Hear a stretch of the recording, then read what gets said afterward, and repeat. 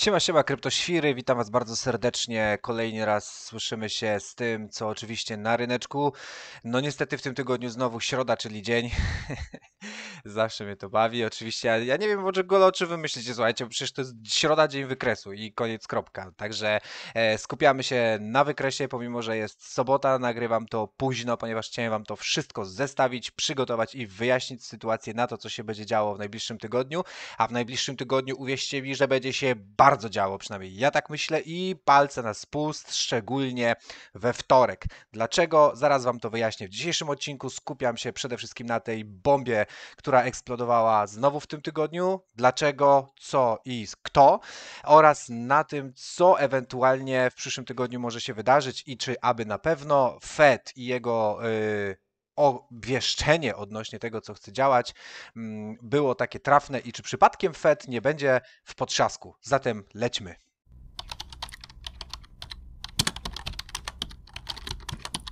Oczywiście na początek e, tego nagrania to tak, ja nie jestem doradcą finansowym, wszystko co usłyszycie w tym filmie nie może być traktowane jako porada inwestycyjna, swoje pieniążki inwestujecie na własne ryzyko. Jeżeli to zczailiście, to petarda może wylecieć dalej, jeżeli tego nie zczailiście, niedługo będziecie mieli poprzez takich fajnych ludków w tym kanale fajne pięć, znaczy w tym kraju fajne e, pięć ulubionych kanałów na pilocie, tam możecie sobie strykać do woli e, i myślę, że wtedy będziecie szczęśliwi. Jeżeli nie odczuwacie tego szczęścia z programowania wam niczym pralki Frani, nie, Frani się nie programowało, niczym pralki kanałów, no to e, w takim razie pewnie zrozumiecie o co chodzi w tym filmie.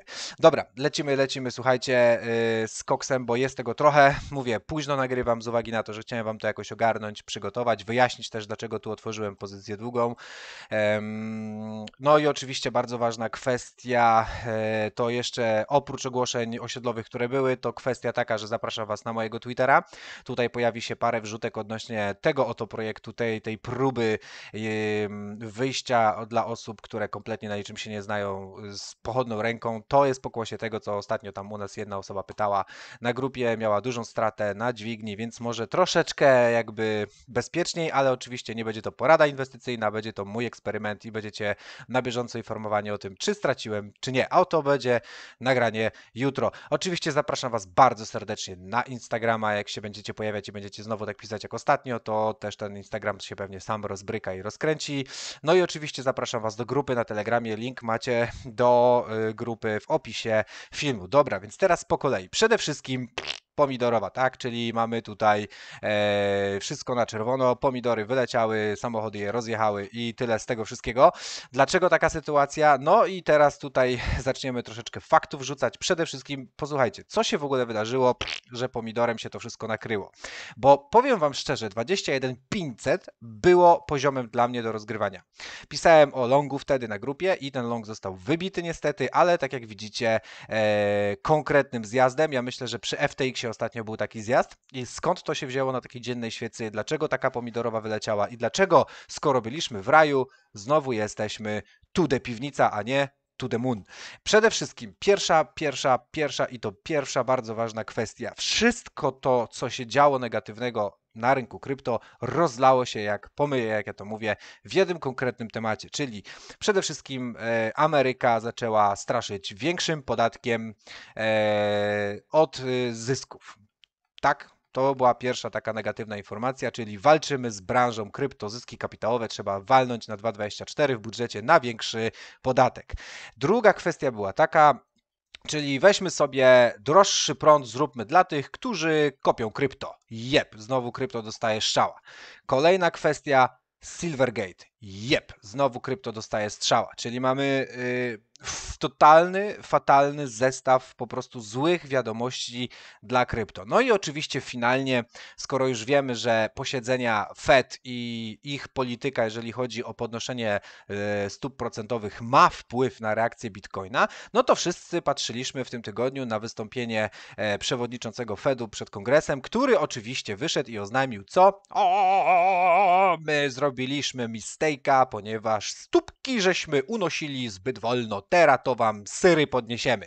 No i skończyło się tak, że mm, wyciągnięte zostały wnioski, że jednak Fed będzie za wszelką cenę dążył e, do podnoszenia tych stóp dużo mocniej niż dotychczas rynki to przewidywały, rynki to weryfikowały i tak samo rynki akcji były, że tak powiem, po części e, zjadały to jakby na swoim własnym talerzu, niezbytnio się tym wszystkim, co tam Fed robi, przejmując. Oczywiście z jakimś tam ryzykiem, ale jakoś to wszystko było pochłaniane. Stąd też mieliśmy mimo wszystko, mimo działań Fedu, rajd ceny Bitcoina po części, bo a ile, a tyle, a ile podniesie, a pewnie podniesie o tyle. O, patrz, o tyle podniósł. I tak się to wszystko naturlało. I nagle znowu mamy dodatkowe wystąpienie Fedu gdzie jest konkretna informacja, że 25 punktów bazowych to jednak nie, jednak będzie 50.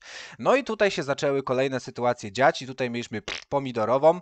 E, wiele osób podkreśla korelację e, Bitcoina z, z SP500. SP500, słuchajcie, poleciało na łeb i na szyję, ale dlaczego? No to tu wkraczamy do kolejnej części tego e, krachu na Bitcoinie i na krypto, który powstał, no bo mianowicie, moi drodzy, bank Silicon E, czyli SVB, e, w skrócie, żeby się już nie w, w pełną nazwę tam Silicon Valley Bank nie, nie wkręcać. E, słuchajcie, przy, mm, dostajemy informację, że SVB po prostu jest już y, w ruinie i zaczyna się po prostu cała oto zabawa. Przede wszystkim wszyscy piszą o SVB, o SVB, o SVB, padło, padło, o teraz pomidorowa, pomidorowa. Jednak nie skupiamy się zbytnio nad tym całym faktem, bo teraz upadek SVB, czyli y, sektor bankowy, może pociągnąć za sobą oczywiście, może to być pierwsza kostka domina, która może pociągnąć za sobą resztę problemów i pozostałe, że tak powiem, deadlines dla innych innych instytucji.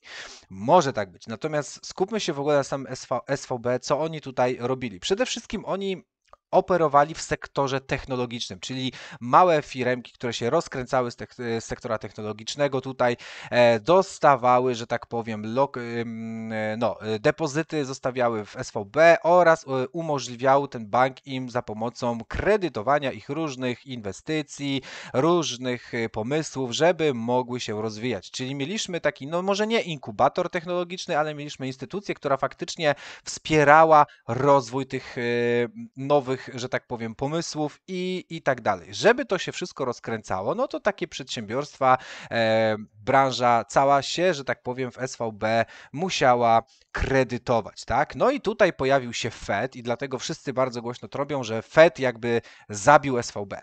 I pojawił nam się Fed, który te stopy procentowe ciągle podnosił. Jeżeli Fed podnosił stopy procentowe, no to te wszystkie e, asy, które chciały się rozwijać dzięki kredytowaniu przez SVB, miały coraz większe koszty, coraz droższy pieniądz się pojawiał. No i w SVB pojawił się problem z płynnością. W związku z powyższym, tak, SVB musiał sprzedać koszyk, w którym miał obligacje skarbowe, no i odnotować ogromną stratę. Tam strata jest e, większa niż zysk opublikowany za ubiegły rok, z tego co gdzieś tam grzebałem.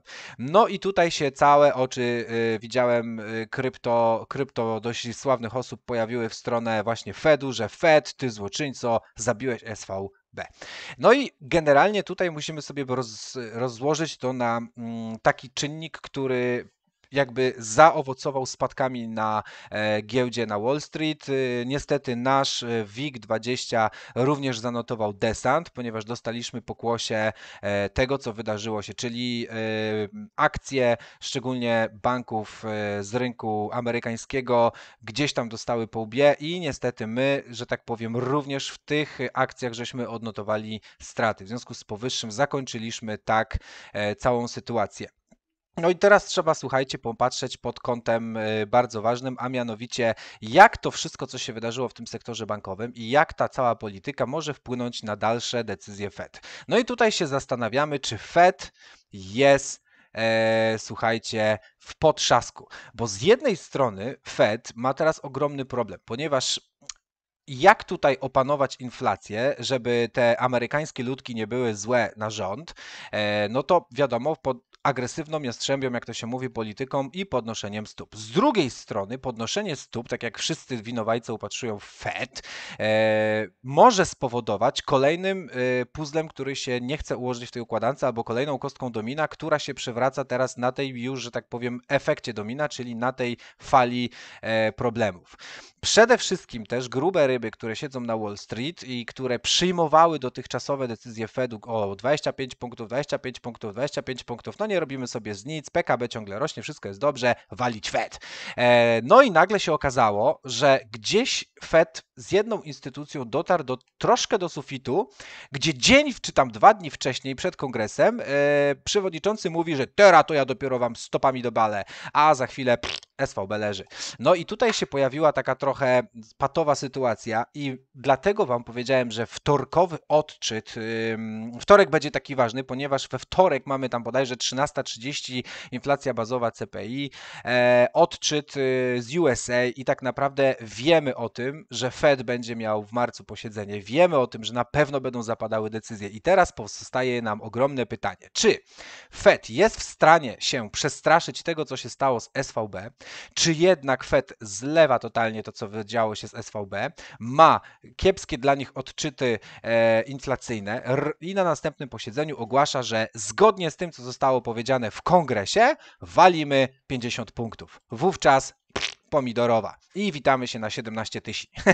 E, taki jest rozwój wydarzeń w planie numer jeden.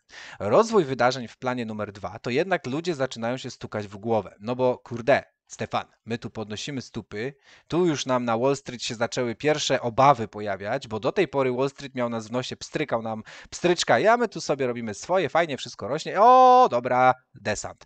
I teraz się pojawia właśnie ten, ten plan B, czyli jednak ktoś tutaj e, się przestraszy, bo jednak e, sektor finansowy narażony na krachy typu 2008 rok i, i tak dalej, to może być ogromny problem.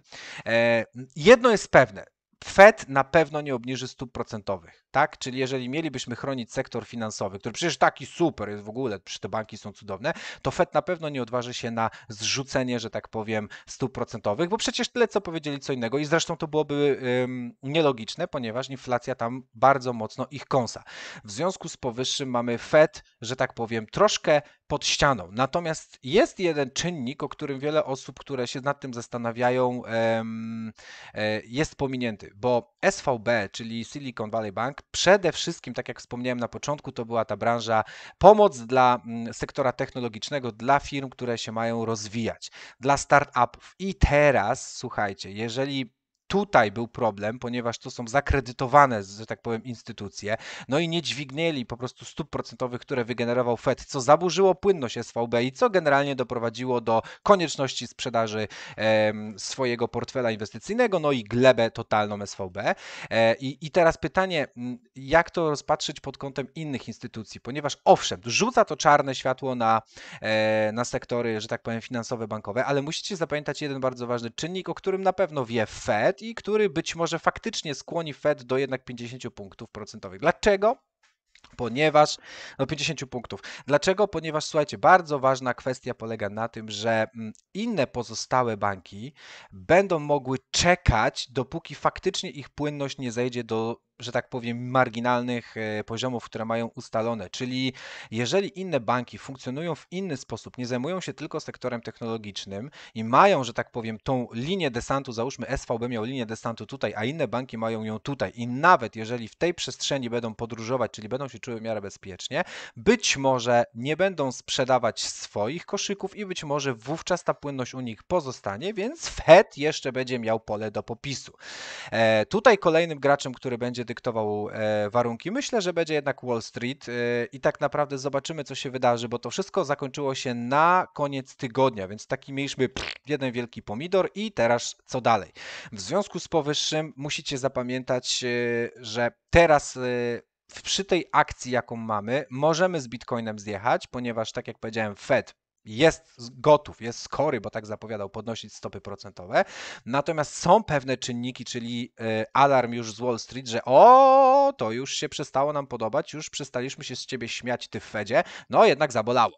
E, w związku z powyższym mm, y, tutaj e, może nie tyle widmo recesji, co już generalnie jakikolwiek negatywny y, atak, negatywne informacje z, z Wall Street i z, z, jakby z rynku akcji mogą mieć jakiekolwiek wpływy. Czyli generalnie reasumując, Fed jest faktycznie troszkę pod ścianą, tylko że myślę, iż y, analizując upadek SVB, jednak będą skorzy działać z tym, co zapowiedzieli. Najważniejszym czynnikiem tego będzie, pamiętajcie, utrzymanie wyborców i utrzymanie się w reelekcji w momencie pokonania inflacji, tak? Czyli ja jestem super, wygrałem z inflacją, a to, że inni dostali wciry, no to trudno. W związku z powyższym y, podniesienie znowu infla, e, stóp procentowych wyżej niż dotychczas rynki to akceptowały i rynki to rozliczały sobie po drodze, czyli to wystąpienie przed kongresem, że teraz to 50 punktów walimy i koniec kropka, może faktycznie nam zdesantować. Bo pamiętajcie o tym, że podnoszone stopy procentowe będą nam różnego rodzaju aktywa ryzykowne spychały i jednocześnie rynek akcji będą nam spychały. Rynek akcji, jeżeli faktycznie wyceniał się na 25 punktów, to przy 50 pomimo mimo upadku właśnie e, z e, Silicon e, Valley Banku, to, to może być już faktycznie moment do odwrotu. W związku z powyższym analizując to, co się dzieje, mm, jesteśmy w stanie, tak jak tutaj na grupie dzisiaj pisaliście, że chcecie niżej z Bitcoinem, jesteśmy w stanie to zrobić, dlatego wtorek bodajże, tak, wtorek godzina 13.30, odczyty inflacji, a później oczy bardzo mocno na Fed, e, ponieważ w marcu to się bardzo dobrze może rozegrać tutaj akcja i na Bitcoinie, i na e, właśnie rynkach akcji. No i mówię, potrzask Fedu to jest pierwsza kwestia. Druga kwestia jest taka, że mm, są ludzie, którzy się zarobili tutaj, mają teraz nadmiar gotówki i będą szukali miejsca do dokupu analitycy, tak jak czytałem kiedyś, jak się uczyłem, tak jak wy, często średnią dwusetkę traktują dość istotnie, a właśnie my dwukrotnie zarespektowaliśmy na dniówkach e, właśnie średnią dwusetkę. I teraz stąd po pierwsze część mojej decyzji o dzisiejszym longu. Druga część mojej decyzji wynikała właśnie z tego, co się dzieje, czyli jeżeli SVB, które upadło i wszystkie zarzuty w stronę Fedu, ze, chociażby ze świata krypto dzisiaj, że to Fed wykończył SVB, e, jeżeli faktycznie faktycznie spowodują, że stopy procentowe nie polecą zgodnie z tym, co krzyczano przed kongresem, czyli załóżmy 50 punktów, ale jednak jeszcze zobaczymy na chwilę, zostawmy te 25 punktów, to wtedy Bitcoin wciągnie to tak samo jak rynek akcji, zobaczymy wzrosty na rynkach akcji i zobaczymy na pewno odkucie się na Bitcoinie, a wówczas oczywiście 25 tysięcy ponownie myślę będzie zaatakowane. Jeżeli Fed pociśnie ze stopami, no to naturalnie będziemy mieli, słuchajcie, desant. To jest pierwsza kwestia, która mnie zaciekawiła, że może faktycznie Fed, który troszeczkę stanie za chwilę w potrzasku, spowoduje, że my się tu odbijemy. Drugą kwestią średnia, która została zarespektowana, to czemu nie zagrać do góry. Ja i tak spóźniłem to wejście, bo jak widzieliście dzisiaj na grupie byłem w pracy. I kolejna kwestia bardzo ważna, słuchajcie, mm, sam fakt tego, co tu się wydarzyło, czyli mamy spadki, mamy spadki i uważ, zobaczcie, ja wam pisałem dzisiaj, że potrzebuję jeszcze wolumenu. Wolumen może nie jest tutaj nie wiadomo jak szałowy, ale jest na pewno wyższy od średniej wolumenu, co już jest dla mnie bardzo istotne. Mamy, słuchajcie, można powiedzieć szpulkę, chociaż świeca zamknie się dopiero za jakiś czas. Mamy respekt y, średniej kroczącej i przede wszystkim bardzo ważna mm, dla mnie informacja to zobaczcie sobie, jak sobie przełączamy się na miesięczny układ wykresu, to zobaczcie sobie, co się tutaj dzieje. Bierzemy sobie oczywiście moje ukochane narzędzie, które mi bardzo często potwierdza różnego rodzaju decyzje i teraz mierzymy sobie, czekajcie, bo oczopląsu już dostaję. Zobaczcie, mamy pomierzone będzie powiększone i teraz widzicie to? Zobaczcie, że aktualnie my faktycznie zjechaliśmy do tych poziomów, które Wam w poradniku dotyczących, dotyczącym FIBO mówiłem, czyli mamy 50% korekty lub 61% korekty i mamy reakcję. W związku z powyższym, jeżeli nie wybuchnie nam tutaj, e, że tak powiem, afera i po prostu straszny chłam i pomidorowa ze Stanów, to my możemy się tu utrzymać i naprawdę możemy znowu spróbować ataku w górę. Stąd pojawił się mój long. Druga kwestia, tak jak Wam wielokrotnie powtarzałem w filmach, w starych, fajnych książkach odnośnie analizy technicznej, odnośnie e, patrzenia się na świeczki i tak dalej, oczywiście wiem, że są przeciwnicy tego, wielokrotnie Wam powtarzałem, że połowa zobaczcie, bardzo długiej świecy, mocnej świecy, sugerującej wzrosty. Połowa takiej świecy, czyli my tutaj mamy 40% ma świeca, czyli w połowie świecy będziemy mieli 20%. Zobaczcie, połowa takiej świecy, kurczę, tak ładnie wymierzyłem i zepsułem, bo sobie kliknąłem. E, połowa, słuchajcie, tej świecy, czyli mamy te 20%, jest traktowana jako lokalne wsparcie. Dobra, żebym tego nie zepsuł po raz drugi, to sobie po prostu zrobimy tutaj lokalne wsparcie. I zobaczcie, jak to zostało. Oprócz FIBO zostaliśmy zrespektowani. W związku z powyższym my chcemy ten próg obronić. No i jeszcze raz to, co sami pisaliście o grupie, na grupie. E, bardzo ważna kwestia odnośnie ludzi, którzy mm, tak jak napisał Dawid, kłękali bardzo mocno, jak to oni nie przespali tych wzrostów Bitcoina.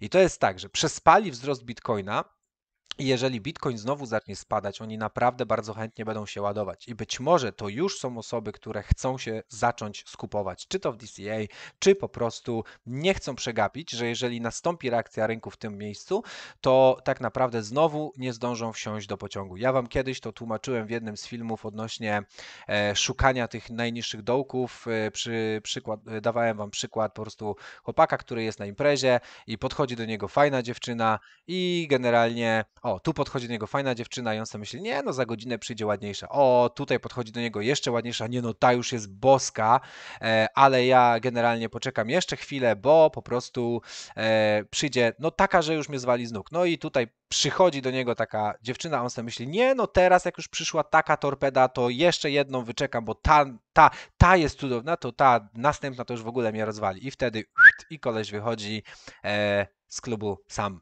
i śpi sam i gotuje sobie sam i wszystko robi sam.